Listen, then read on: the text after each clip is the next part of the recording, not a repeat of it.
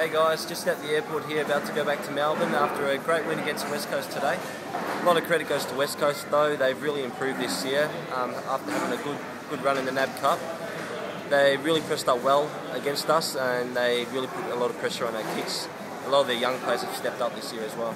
Uh, a lot of credit goes to Lance Franklin, Franklin today that had won the Frank McDonald medal, kicked six goals and was a great performance. It was also good to have Mitchell back and we're just looking forward to have, putting on a good performance uh, against Geelong on Tuesday.